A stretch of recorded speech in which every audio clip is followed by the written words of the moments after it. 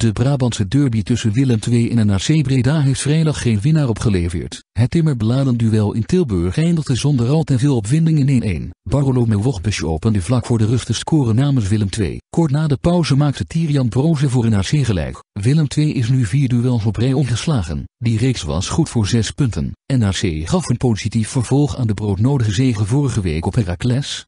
3-1. Willem II bleef op de 14e plaats op de ranglijst steken. NAC handhaafde zich op de 15e plek in de eredivisie.